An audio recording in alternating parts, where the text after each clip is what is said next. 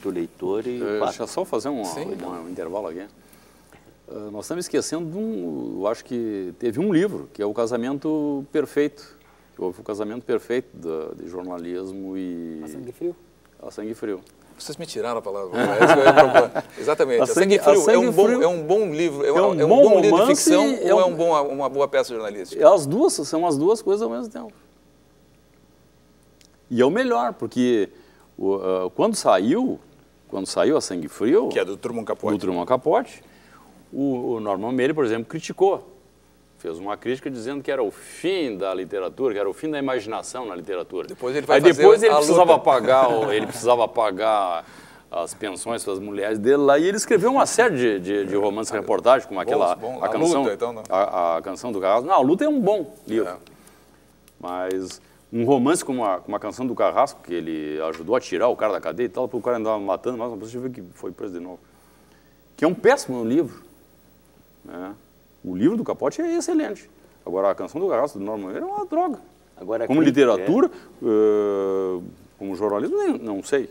Agora, como literatura, é muito ruim. A crítica que você fala do Capote, do ponto de vista jornalístico, que ele nunca fez nada jornalístico, nem é. antes nem depois. Ah, sim. É só sangue frio. Que é o, eu acho que é o livro dele, né? É, Porque é, é o, eu tentei ler o que ele escreveu antes e o que ele escreveu depois, não, não, não, não, não, não me acertei. E, e, o envolvimento muito dele com, com, com as fontes. Que deu um belo filme, né? Deu um belo filme. Um é, belo e a gente precisa, ou seja, o que, que é o, o que, que é o Truman Capote, o que, que ele inaugura, né?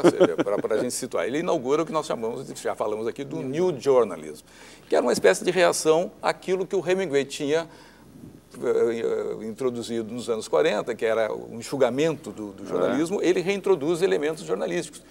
E que também produz excessos, uhum. né? acaba produzindo excessos. Ou seja, é um bom livro, o Capote é um bom exemplo desse jornalismo, onde recupera coisas... Mas eu não me lembro de nenhum outro depois do dele que seja tão bom quanto. Não, não dele, ou seja... Não, um... não, de outros autores. Pois é, não, mas não o, só livros. O, os digo... romances reportagens do, do, do, do, do, do Norman Mailer são ruins, são muito ruins. Os, os, livros do Tom Wolfe, como romance, são muito fracos também. Sim, mas eles acabam influenciando a literatura de novo, ou seja, reintroduzem esses elementos na literatura e acabam desses, eh, influenciando, e aí, do meu ponto de vista, negativamente, eh, o jornalismo, porque voltam a trazer o nariz de cera, né, que é aquela, aquelas frases sem sentido no início, onde descreve o tamborilhar da chuva no vidro, antes de chegar à morte. Do, mas, não, mas é, é preciso fazer uma, uma... Porque ele falou ali também que o jornalismo tem que uma boa reportagem tem que engatar o leitor desde o começo ali, então não pode ficar de conversa fiada, né? Já tem que chegar e dizer quem, como, quando e onde. O diabo é que a boa literatura, um bom romance também tem que fazer também, isso. Ela tem que prender o cara na primeira tem. frase, no primeiro parágrafo e não deixar de conversa. É. Pega a cena Solidão, que tem a, a talvez a, a, primeira frase mais famosa depois, da, depois do, do Kafka com a, com a metamorfose. Ou da Bíblia. Ou da Bíblia. a Bíblia também tem uma, uma bela frase nisso. E, e, ele, já, ele te dá três informações ali de saída né, e, e tu quer saber, pô, mas para lá, como é que foi isso? Tu já fica engatado naquele negócio. Não tem essa de, de começou tamborilando a chuva no telhado e tal. É um dos, dos, dos, dos conselhos do, do, do Elmore Leonardo, né? Dizendo, não comece descrevendo o tempo. Belo conselho. Mas é, não comece descrevendo o tempo. Não tem porquê. Nessa altura do campeonato não tem porquê. Então, e, a, eu, e a, as consequências do, do, a sangue frio no jornalismo? Vamos, vamos, voltar ainda aos elementos, digamos... Eu não vi. É, não, nos, nos, jornais, ou seja, de, de, de, de alguma maneira entrar é, é o, o repórter eh, as impressões do repórter ou, ou, a opinião do repórter sobre eventos. É que o, o, jornalismo tem uma palavra mágica que é objetividade. Então nós sabemos que é impossível um texto ser objetivo e imparcial, mas o dever do jornalista é buscar a objetividade Por que e a imparcialidade. Que é impossível? Bem, enfim, conceitualmente... Porque, porque, se existe essa palavra, se eu te digo isso aqui é o copo, tu... Pois então, é mas... É impossível eu dizer a, isso? É que imparcialidade... Eu não consigo entender essa, esse problema com a objetividade. É que a imparcialidade é uma coisa e a objetividade é um pouquinho é. diferente, né? A imparcialidade talvez seja mais discutível se pode, se ou não chegar na imparcialidade. Agora, a objetividade é exatamente isso. Isso é um copo. O crime do menino foi um crime de uma pessoa adulta contra uma criança de 11 anos. Isso é objetivo, é centrar no objeto. Agora, esse foi um crime horrível, subjetividade. Por isso que nós tiramos o adjetivo. Exatamente. Por isso que nós não dissemos que o crime é horrível. Ali, mas nós podemos ser subjetivos. Descrevemos o crime. E, a, e o horror do crime vai aparecer na descrição. Isso, e nós podemos ser subjetivos sem usar os adjetivos, né? Então, nós também podemos, uh, talvez a grande diferença do capote para o jornalismo que se quer, o jornalismo seco, o jornalismo Hemingway, seja o, o capote ele é agente da notícia, ele está lá dentro, ele participa dos fatos. Aquele é um livro subjetivo. Talvez o mesmo, o mesmo fato, o crime naquela, naquela casa, contado por um outro jornalista, por um outro repórter, por um outro participante do crime, tivesse outras cores, outros matizes e outras, outras situações. Então essa talvez seja a grande diferença do capote, que é a subjetividade no jornalismo. Concordo que eh, agora a gente está discutindo um pouquinho sobre jornalismo e falando de jornalismo da época, digamos lá, 10, 15 anos atrás. Hoje esse jornalismo do que, quem, quando, onde está na web. Então, no dia seguinte, a pessoa que compra um jornal impresso para ler um jornal impresso, ela já sabe o que, quem, quando e onde. Mas não sabe.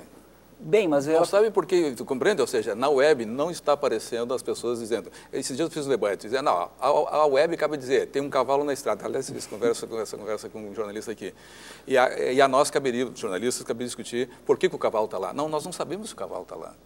Porque os interesses, para, para, ao descrever isso, não me garantem as pessoas que estão relatando não nos garantem que os eventos sejam aqueles. Não, mas peraí, é nós estamos falando de jornalismo na web, né? Por exemplo, Isso, o crime desse menino, esse menino, todo mundo Não, não ontem... é jornalismo na web, ou seja, as informações na web, na é, rede. são coisas diferentes. Existem informações é. jogadas por testemunhas nas redes sociais, que é uma coisa. E existem sites de notícia, profissionais que publicam ah, notícias, que é, é outra coisa. É jornalismo. É jornalismo. E aí, então, a, a notícia do menino e que mau repercutiu... jornalismo, né? é, a gente pode discutir se é mal, se é bom. Ele é, ele é recente, ele é novo. Então, ele é um jornalismo que está amadurecendo em construção, mas se é bom ou ruim é outra discussão. Mas ontem todos nós sabíamos o que foi o crime, porque todos nós vimos ou no rádio, ou na web, ou na televisão a notícia. Para que comprar o jornal de hoje para ler o que, quem, quando, onde? Talvez essa seja a nova transformação do texto jornalístico. Se ele vai repetir o que estava no dia anterior ou se ele vai fazer algo diferente que ninguém sabe o que é exatamente, né? É o porquê, né? Talvez o porquê, as consequências. Não, isso é, de certa forma sempre existiu e agora requer qualidade, requer uhum. uh, que é o, o, o, jornalismo como leitura, que aí entra o new journalism, uh, e o jornalismo como interpretação. Exatamente. E, e, e, como te interpretar, e não ser opinião, mas interpretação. Então, isso é, é o jornalismo gráfico é este. É. É, é e o, o, eu não sei, eu, eu, eu, também sou meio preconceituoso com o capote. Fiquei eu sozinho aqui. eu acho o capote, eu acho que faz mais literatura do que, do que jornalismo. É, em literatura ele é ótimo e no, no, no, no, próprio sangue frio, que é esse envolvimento, que, é, que, que é, isso, por exemplo, objetividade, neutralidade, veracidade, ética, são, é, não, não, quer dizer que tu, a, a, a, matéria jornalística segue isso. Não, esses conceitos jornalistas têm que seguir. Tem que seguir. Agora, se ele vai conseguir, é outra, outra, outra história. Agora, se, se, se, não é verdade, não, é, não, não, não, é não existe. Não existe aquilo. Não, não existe nem na literatura, que a literatura tem que ser. Um, um, tem, que, tem que ter é, quando você diz que você forma estereótipos na literatura, é, é que tu forma a média da, do, do, da, da, da, coletividade, que ele vai fazer coisas que a média faria, não uma pessoa que fez, é a, a média da, da população. Vou pedir licença para vocês e voltamos em seguida, depois do intervalo. O Mídia Debate está de volta com os jornalistas e escritores Tibério Vargas e Marcelo Spaldig e com o escritor e tradutor Hernani Só para continuarmos falando sobre a relação do jornalismo e literatura. Pontualmente agora, inclusive para a gente ver o que vocês estão fazendo. Tibério, tu és meu colega professor, falamos cotidianamente sobre jornalismo, fosse um grande jornalista e agora é um escritor. Quando tu escreves literatura, tu faz diferente quando tu fazia jornalismo? Eu acho que não. Né? Eu, eu, pelo menos eu, eu, eu claro que Deixa eu mostrar os teus livros. Estou falando em reportagem, né? É, eu sempre eu sempre procurei é, contar detalhadamente, é, descrever situações, é, é contar uma, uma história com, com detalhes. Né?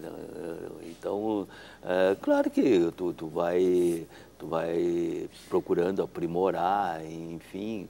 E eu entrei, eu sempre digo, eu entrei no jornalismo que foi para escrever. E, e né, esse que era o meu objetivo. E, e, e procurei, assim, eu procuro, né, nessa transposição, eu procuro contar histórias que é, pareçam verdadeiras. É, que... Mas essas histórias você tem, são invenções, são ficções. São invenções, não, não, é, não. não tudo invenção na, na vida, né? Quando tu conta... Tu... Sim, mas nas reportagens tu não te permitia essa, essa ah, parte de invenção. Não, não, claro que não. Eu estou dizendo é, é essa... É, é, essa é, de, de, de, contar uma história, não, não contar, é, pelo menos em reportagem, não contar uma história, é, não contar uma, uma informação pura, simples, dura. Né? Então, eu sempre procurei é, escrever, um, a, quando escrevia reportagem, de uma maneira envolvente, com detalhes, que as pessoas perceberam exatamente onde as pessoas se movimentavam, o que, que faziam, dentro daquela circunstância do fato em si.